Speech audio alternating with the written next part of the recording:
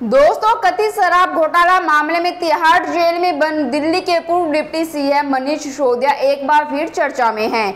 इस बीच उनका एक तहलका मचाने वाला पत्र सामने आया, जो सुर्खियों में छाया है और सोशल मीडिया के सभी प्लेटफॉर्म पर तेज़ी से वायरल हो रहा है। नमस्कार दोस्तों, मैं हिमांशी कश्यप आपके साथ। आप देख रहे हैं जनता की आवाज़। दोस्तों, मनीष सिसोदिया ने अपने इस पत्र में केंद्र की मोदी सरकार पर खुलेआम हमला बोला है। मनीष सिसोदिया ने साफ़ शब्दों में कह दिया कि अगर लोक कल्याणकारी और जनहितैषी योजनाओं पर अमल हुआ तो चौथी पास राजा का राजमहल हिल जाएगा।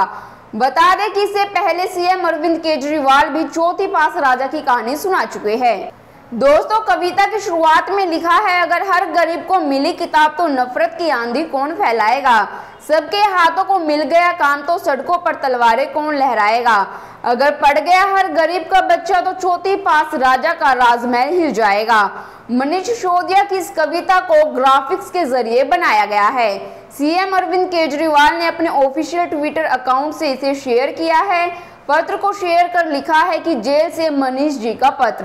दोस्तों, अब इस पर लोगों की प्रतिक्रियाएँ सामने आ रही है। गौरव प्रासन नाम के यूज़र ने लिखा कि जेल के अंदर अभी तक मसाज की व्यवस्था थी, परंतु अब तो ग्राफिक्स डिज़ाइनर की भी व्यवस्था हो गई क्या?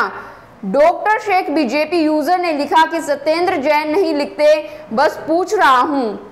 मयंक सरफ इक्यावन ने लिखा कि किसी के हिस्से शीश महल आया किसी के हिस्से प्रणीति चोपड़ा आई बस मनीष सिसोदिया ही बदनसीब था, उसके हिस्से तिहाड़ जेल आई। दोस्तों, यह पहली बार नहीं है जब मनीष सिसोदिया ने तिहाड़ जेल से पत्र लिखा हो। वह पहले भी पत्र लिख चुके हैं। पिछले महीने उन्होंने जेल से पत्र लिखकर पीएम मोदी पर निशाना साधा था। चिट्ठी में सिसोदिया ने लिखा कि पीएम का काम पढ़ा लिखा होना देश के लिए बेहद खतरनाक है। कहा, मोदी जी विज्ञान की बातें नहीं समझते, वे शिक्षा का महत्व नहीं समझते।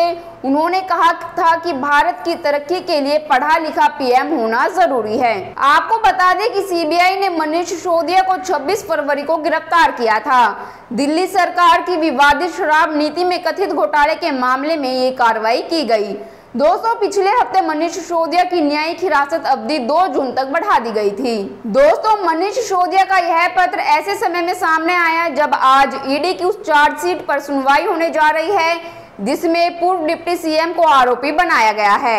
ऐसे में अगर फैसला सिसोदिया के खिलाफ आता है तो केजरीवाल पहले से ही यह बताने के लिए तैयार होंगे कि मोदी सरकार उन्हें फंसाने की कोशिश कर रही है। आपकी इस पर क्या राय है? हमें कमेंट कर ज़रूर बताएँ और बाकी खबरों के लिए देखते रहिए जनता की आवाज़। जनता की आवाज़ यूट्यूब चैनल को सब्सक्राइब करें, साथ ही बेलाइकन ज़रूर दबाएँ।